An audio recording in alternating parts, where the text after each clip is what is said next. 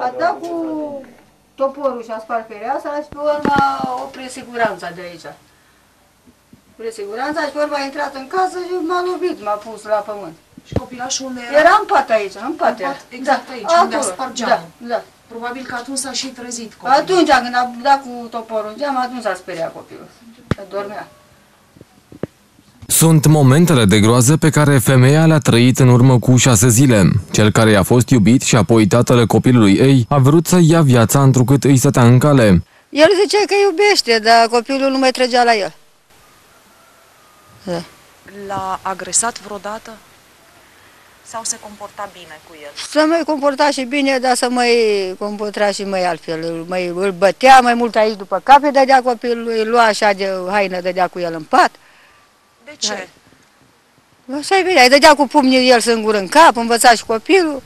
A, el singur își Da, dădea cu pumnii da, în cap da. și învăța și copilul la fel. Da, să dea cu pumnii în cap, să tragă de păr, să... multe. Martor la întreaga scenă a fost chiar copilul. Eram așa, eram pusă cu picioarele colea spre ușă și cu capul aici, așa era. Și cu mâna asta era ușa asta desfăcută, cu mâna asta peste prag. Peste pragul ușii. Și aici v-a, v-a Da, prins. aici am aprins. Da. Și cu ce v-a dat? Cu, cu a dat toporul? Cu toporul. Cu toporul? Cu toporul a dat.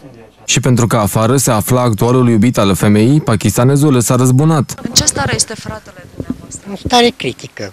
Am fost la el prim sâmbătă dimineața la ora 11 am fost la, am ajuns la el cu tren, când am din Motru până în Craiova, cât a făcut tren. Două ore până am ajuns la el. Era în comă, nu comunica, nu nimic. Superfuzii, anestezie. Am plecat eu duminică, luni dimineața, am plecat de la el, n-am comunicat cu el nimic, nu. Deci de sâmbătă până duminică, luni dimineața, la ora 4 am plecat de la el dimineața, nu a comunicat nimic cu mine. Nu De fapt, problemele dintre cei doi soți au apărut cu ceva timp în urmă. În Grecia la cules de portocale. Adică, În Grecia. adică acolo, la cules de portocale, Da. l-ați văzut, Da. da? Am, am văzut, el s-a dat pe lângă mine, a zis că a zis și el că e om bun, că vrea să aibă și el o familie. Eu n tot a zis, "Hai să mai stăm, să mai stăm, el a pus, a pus pata pe mine ca să stau cu el. Păi nimeni nu mi-a spus că e musulman, eu n-am știut, după ce am născut copilul că e musulman. Ca să scape de el, femeia a venit în România, în septembrie anul trecut, fără copil însă, care a rămas în grija tatălui în Grecia. La scurt timp însă a fost contactată de către pakistanez că a ajuns în România, cu copil cu tot, aducându-l peste graniță ilegal. Au trecut uh, nefraudulos. A trecut granița. Cu copilul. Cu copilul, da. A trecut pe Atunci sub când l-a poduri. dus Pe... în România, Da, așa a spus el, că a trecut pe sub poduri, pe sub ăștia, a avut legătură cu mașini, cu ăștia de la adus și la vama a trecut pe jos, pe sub poduri și au povestit. În țară însă, părinții copilului au locuit o perioadă împreună, dar din cauza religiei pakistanezului nu s-au mai putut înțelege. Noi am monitorizat uh, acest caz, uh, am mers uh, împreună cu domnul uh, șef de mm, poliție, domnul Țuțuc Andrei. Um, Am uh, uh, văzut situația copilului.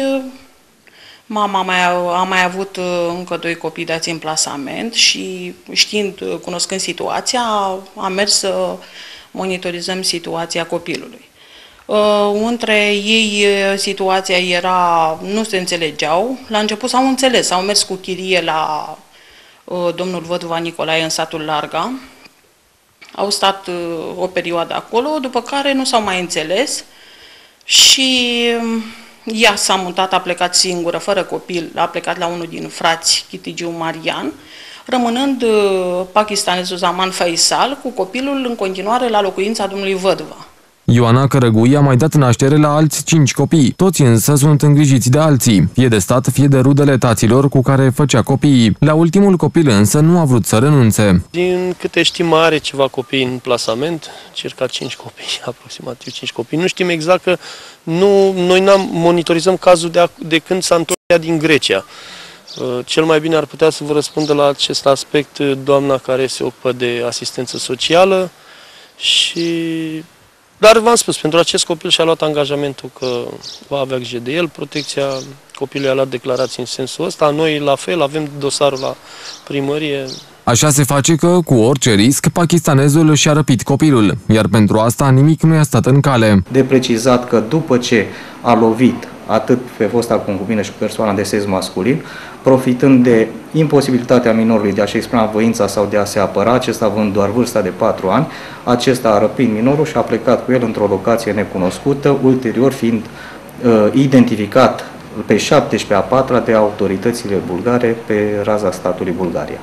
Două ore au stat în inconștiență mama copilului și iubitul ei. Când s-au trezit, nu au mai găsit copilul, iar pakistanezul a avut timp suficient să treacă granița. Am fost sesizați uh, de Inspectoratul uh, Județean de Poliție uh, cu privire la situația unui copil care a fost identificat în Bulgaria împreună cu tatălui, încercând să traverseze fraudulos um, acest stat. S-a constatat că copilul fusese um, luat de lângă mama lui, fără ca aceasta să-și dea acordul, fără să existe un document care să uh, ateste uh, faptul că tatăl are uh, sau dorește să părăsească țara împreună cu copilul.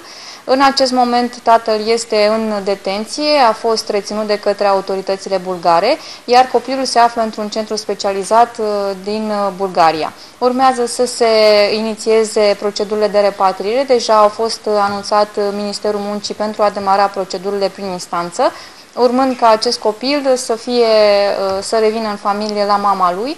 Mama lui, de altfel, are obținut uh, încredințarea copilului uh, prin sentință judecătorească dată de judecătoria Motru.